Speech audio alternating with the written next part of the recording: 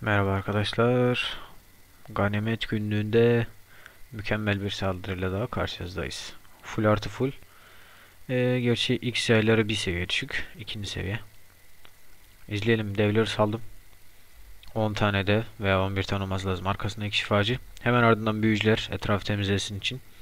Sağa ve sola yukarıya 11. seviye barbarımı 9. seviye kraliçemi saldım ve arkasından sadece 4. seviye. Yani 4. seviye işe yaramaz demeyin. Gerçekten çok iyi iş görüyorlar. Etraf temizlesin için barbarları da attım. Hemen oraya bir şifa kullandım. Barbarın öfkesini bastım. Ölüyordu. Ee, sonra bakın burada şifacılar binicileri şifalıyor. Biniciler zaten savunmayı götürüyor yani gerçekten çok iyi. Büyücüler arkadan geliyor. Büyücüler arkadan geldiği için işlem tamam yani. Süper. Sonra biniciler biniciler hala ölmedi gördüğünüz gibi. Devler gidiyor. Hemen arkasında büyücüler var. Kraliçenin aktifini kullandım.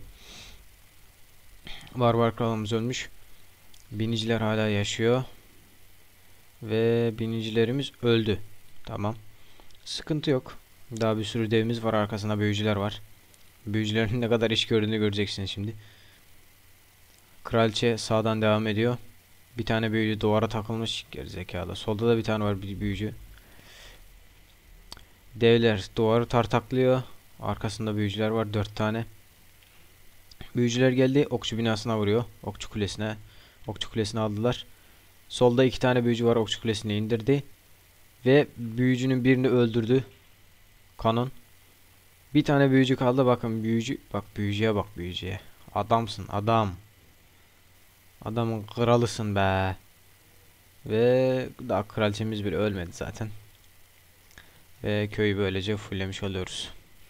Gerçekten güzel saldırıydı. Ganimet de iyiydi baya. Bir sonraki videoda görüşmek üzere.